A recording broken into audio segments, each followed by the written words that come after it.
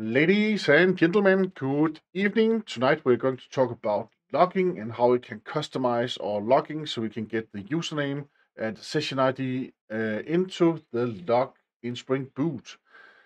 First of all, uh, this is my HTTP uh, interfaces Spring Boot project. Uh, this means that uh, I have a lot of HTTP interfaces where I can call uh, my own API. Uh, yeah, and I also have some tests here. And actually what I need from this project are the, that is actually the tests and the, the security part of the tests.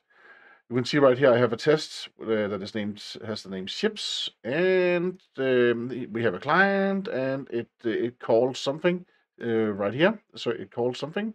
This is the the, the HTTP cl client. So this is HTTP interface that we use right there.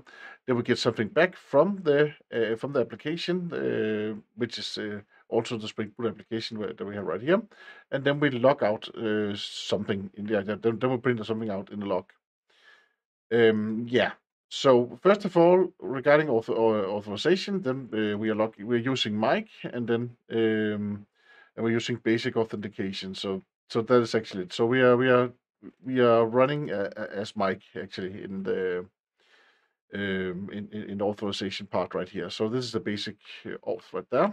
And um, we have the security header, which I'm generate right here, Mike, and the password is kiss me. Uh, it was just uh, something. It should just be something like I can write whatever I want to. But I just want I just need some security on my API. And um, and the reason why I want that is because I want to show this beautiful log right here. I, I all have already run the test and look what actually happens. First of all, our, our Spring Boot context starts up and it, it, it has some output, some info outputs and it says no user, no session, and then suddenly it gets a request with basic authentication in the header. Look what happens. It, ha- it, it has a security context. It says that the credentials, uh, the name right here is Mike, and this is the session ID right here. So this means that if I, as a, a client to this uh, product that I bought, maybe I bought some access for this uh, REST API, then I can I can complain about whatever I got returned, or maybe I maybe I didn't get any, maybe I got an error. Uh, then I can complain about this, and then it's very easy to find in the log files. Uh, uh, my request is very easy to find because I have the security context right here, and I have my session ID right there. This means that if, if I call this API maybe with with a hundred of the hundred different uh, endpoints, then I would actually have a new session ID per endpoint per call uh, per call, then you would have a new session ID right here. How did you do that, Mike? Because this is not out of the box, is it, Mike? No, it's not. It is definitely not. I have set up some. I've created something uh, custom, and that is what we're going to dig into. How can how can you create? How can you add more information to the to the log output? Because it's not just credentials and, and session IDs. You can actually add whatever you want to add. Uh, you should actually think about this log line right here as a bucket, as a hash map, with with a lot of data, and then you can actually choose what what uh, what what from this bucket from this data that you actually want to present. You choose that by having a logback Spring XML file, for instance. This is a very normal way, way to do it. Usually, you would use SL4J uh, inside your Spring Boot application. SL4J is the abstracted layer of logging, and logback is the executor. So that means that you could actually have SL4J if you want to with Log4j also, um, and then, then you actually have Log4j to uh, to to run uh, to actually to actually execute the logging itself. Um, the SL4j part is just abstraction, so you can actually change. You, if you wanted to, you can actually uh, swap log, logback with something else. Um, logback is quite good and it's kind of a standard, kind of de facto standard. So you probably don't want to to swap out the logback, but maybe you have some, yes, maybe you have a good reason for for not using logback. Then you could actually exchange it if you're using SL for J, and that is exactly what we are. Um, that's ex actually exactly what we're using. Let me just show my controller right here. Then I scroll up in the top. I'm using Lombok. Then I annotate all of my classes with all the classes where I need some logging with add SL for J. And then I can then print out some some something like this, log.info, and then uh, yeah, return list of, of ships. This is the, the message right here. Usually when we are logging something, we actually we are more we are very focused on the message and then uh, we're not uh, that focused on the, yeah, of course, we also focused on the log level because we give that right there. But of course, there, there's a lot of uh, circumstances that we that we that is actually part of the locker that will actually that will give us this for free, so we some which we don't have to think about. So part of it is the timestamp, and another part right now is the credentials and the session ID. So how do you, how did you set that up, Mike? Okay, so let us look at the logback XML file right here. The logback XML file can actually contain it, can actually contain Spring profiles, so you can have different logging. You can have di different log formats for different profiles. Um, so this means when you are when you are running something local uh, or local or local on, on your machine and um, and you actually you don't need all of the like thread information and CPU usage and stuff like that. Maybe you don't need the the date, you only need the time. That's what I have right here because uh, usually the the interesting part when you are uh, in, in my log usually is out in the right side right here. That is usually out here where I can see some some log data that I actually need. Um, so this means that, that I, I actually want to remove as much as possible in front uh, of my log message right here.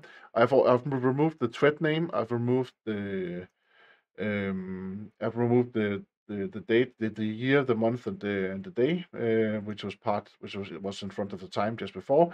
Maybe I could also remove the hour because I actually just need to know which minute it was that I ran uh, when I run locally. I don't need all of that information. I could also I can also shorten the session ID. Right now we get a, lo- uh, a long session ID, which is which is uh, like uh, how many characters?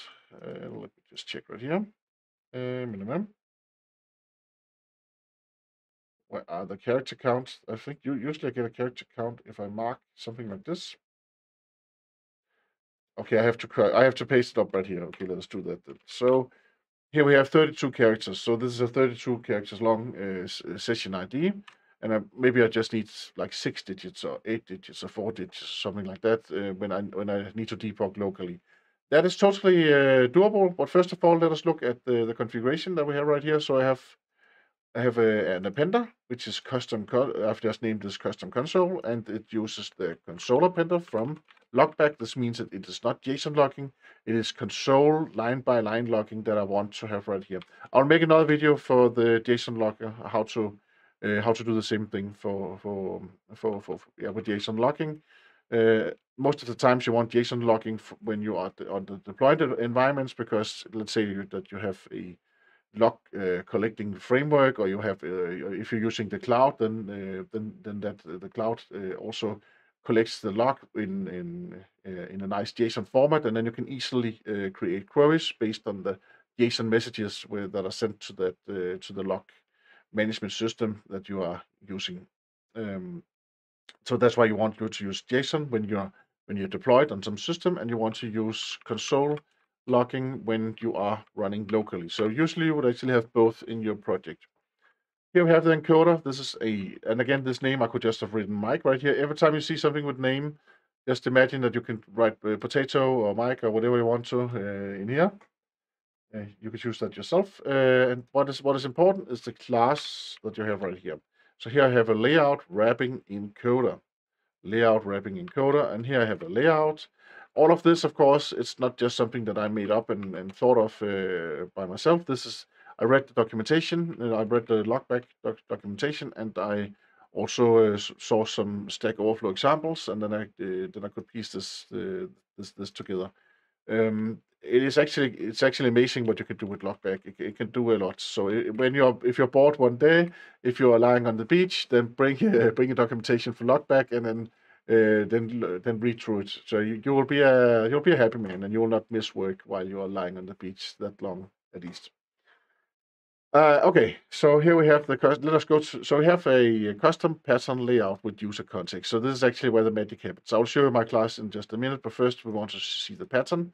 This is the pattern right here. Here we have the, this is the dates, percent %d for date, and then uh, here is, uh, this is format. So I only want the hour, minutes, seconds, and milliseconds right here. Um, and then I want some cyan color. This just to make it a bit spice, spice it up a bit. And then here I have my user, and here I have my session. You cannot use these out of the box. You have to add these pieces of data. Every time you write percentage and then something like percentage Mike or something like that, then you actually have to feed the logger with that information that has to be added to the to the logger bucket, and that is exactly why we have this custom pattern layout with user context class right here. I'll, again, I'll show it in, in just a minute. Then we have the highlights, uh, percent highlight right here. That means it will just choose a highlight, uh, a color for highlighting. It will actually choose a color uh, by itself, and then uh, it will show the, the level like info, error, etc. Minus five, that has something to do with the number of uh, spaces that we want between the uh, the next, um, yeah, between the, the user session and the level, here we could actually also write something like 15, then we will get a lot, a lot of space, but we don't want the space right now, so uh, I'll leave that out. Percent MSG, that is the message. Percent uh, N, that is new line. So if you don't want the new line, you actually don't have to use the new line. It's just a mess to look at. So uh, yeah. So but here we want the message right here. Um, you could actually also place the message to begin with, actually. So let's you could uh, you, you don't have to place it in the end. Um, let's say that you want you think that the message is more important than the, the level, then you can just put the message uh, in here in the yeah, where I have the cursor now, and then you could then you would have the message there. Yeah, yeah then let's just do that just for fun. So.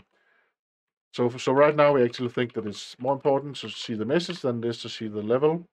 So we will run my, my test again. This is a Spring Boot test. Ships. I'll run it. It's a test not with, with the web the web context. The reason why it's so fast is because it's actually not spinning up the web context. It is just spinning up the the Spring Boot context. You can and you can choose that actually. Um, if you go up in the top right here, then you can see.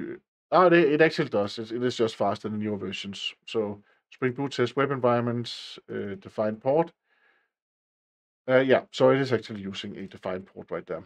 Um, so that's okay. Here we have uh, Mike, the session ID, and now we have the message, and then we have the level in the end right there. So now all of the uh, the levels actually uh, in the end of the message right here. Okay, so let us look at this custom class that I wrote to to enable this custom blah blah blah with pattern layout. It extends the regular logback classic pattern layout, and of course, this is what you need to read about in the documentation, of course, if you want to do something weird. Um, or you can just follow this example, of course, you can just clone my code, I'll put it on GitHub as usual, so just, just check out my code, code and use it if you want to. Um, here I have pattern layout, and then I can then I get the default converter map. The default converter map. This is the map that contains all of the fields. So here I can actually add more fields. I can actually add my own custom fields. And this is also, if I wanted to have a field named Mike, then I'll just add Mike right here. Right now I want a user, and then I take, uh, then I use a user converter. Then I have a method there that says get name. And then I want a session converter. Then I have a method name uh, get name. Maybe that should have been get session or something like that instead. Uh, it's probably because I've copy pasted a bit too much. Uh, but let us go to user converter to begin with. So it extends a classic converter. And again, this classic converter, that is a logback classic pattern, classic converter uh, class. So that is, it comes from the logback uh, library, logback framework. Um, yeah. So you'll, you'll create a converter that comes, uh, yeah, that extends a classic converter.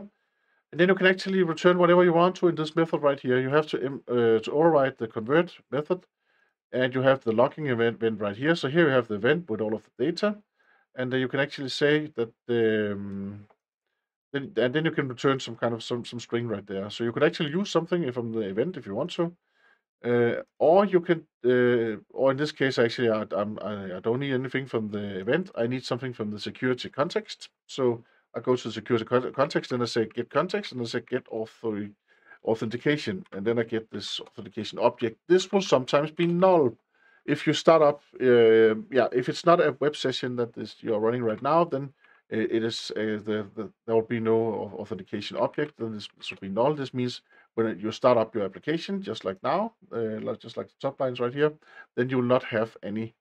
Um, then you will not have any authentication object, and of, and of course you should have some kind of string that actually shows that instead of no user, you could actually shorten this to a minus, or you can also just write blank right there instead. That, that could also be let us just choose minus now just for fun, just to change something. Let us go to the session converter. Again, same story. A classic converter from the logback uh, library. And yeah, from the logback library, you can see it up there. Um, and then we have to override the convert method right here. And instead of writing no session right here, we could just write a minus, then it actually takes up less space. Let us run our tests again now and see what actually happens now. So now we have minus minus, and then we have, so it takes up this space. Then suddenly we got some names and some some some session IDs right here. And of course, uh, I would recommend that you actually create a special version that actually of the yeah, of the session converter that actually just takes the last uh, eight digits or four digits or how many uh, yeah the number of digits the number of uh, letters number of characters that you need so this it's it's, it's still almost always unique um, when you start a new uh, web session but there's no reason for having 32 characters of session id here so yeah so that's actually it. Uh, it's quite easy right now when you know how to do it. So now you have to create three classes. So that is not that difficult. And the most difficult part is probably to set up the logback Spring uh, XML file right here. And then you have a profile, which is default right now. And I choose the appender named custom console, appender ref, that means reference. Reference this console up here. And here I have, I say that it should be a console appender that I need. Uh, and in, in the next video, I'll show you how to actually use the JSON appender instead. So yeah. Then you say layout, wrapping encoder, and then you can actually choose your custom pattern layout with user context right here. That's it. Quite easy. Let us run the test again just for fun. Then we can see it. Here's Mike, here's the session ID, and here I actually got test and worker. That was to begin with right there. And uh, yeah, yeah. So it, it, it just works and it will save you a ton of time. Thank you so much for watching. Thank you very much for all of the comments that you place uh, on my videos. Uh, I yeah, it, it, it gives a lot of energy. It gives so much energy when when you do that because then I know that um, that that there was actually at least uh, one person out there that was uh, happy uh, with with the with, with, the stuff that uh, I do, and that they they, they actually could uh, learn from from from these videos right here. So, thank you very much for watching. Have a great evening, and I hope to see you again soon. Bye bye.